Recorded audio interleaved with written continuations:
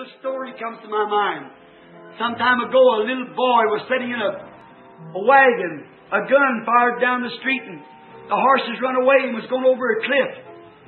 A young cowboy run, stopped the horses just before the wagon went over the cliff because it had a baby in it.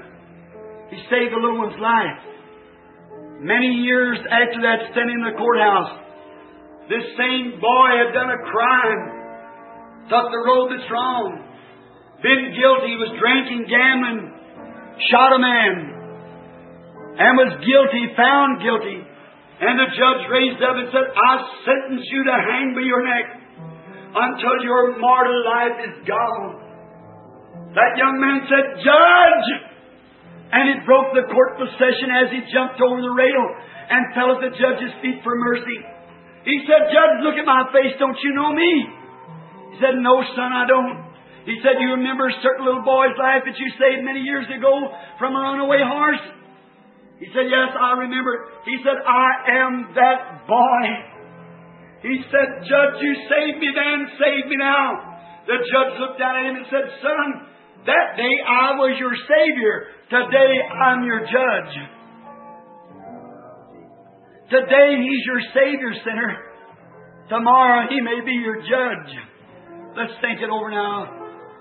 As the music plays and everyone praying, those who are on praying grounds with God, I wonder tonight now quickly, those who would like to accept Christ as personal Savior, say, God be merciful to me, a sinner. I want to come by the shed blood. I'm tired of joining churches and running from place to place. I want to be born again. I want an experience in my heart that I know that Christ has revealed Himself to me by the spiritual revelation that you just spoke of, Brother Branham. I want the spiritual revelation, the Holy Spirit in my heart, making me alive, bringing Christ more real to me than I am to myself. I desire that experience, Brother Branham. Will you pray for me as I raise my hand? Will you raise your hand now? Who desires to be remembered?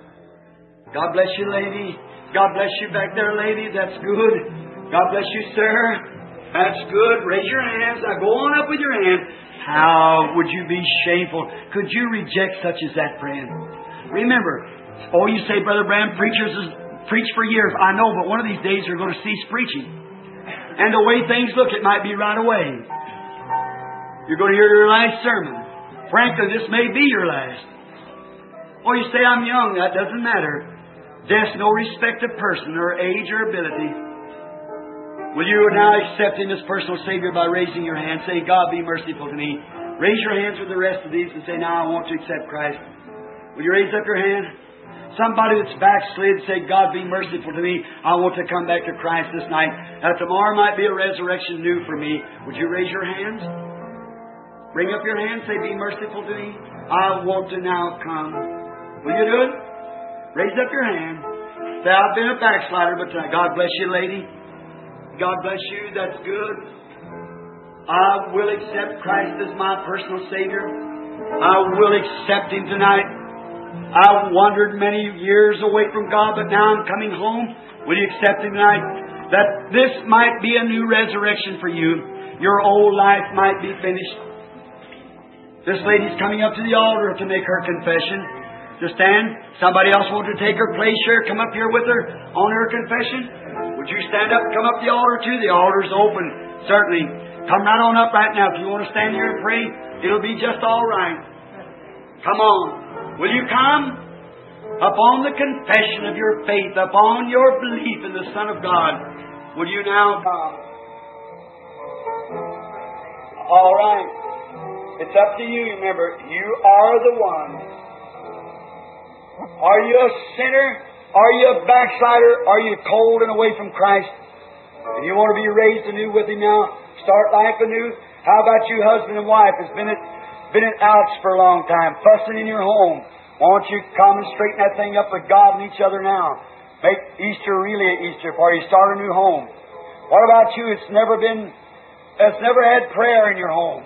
You just go home from church and try to live the best you can never bring your family together and pray. That's why we got juvenile delinquency and the things we got. That's why the American homes are broke up. Won't you come start anew tonight? Will you do it? You're invited.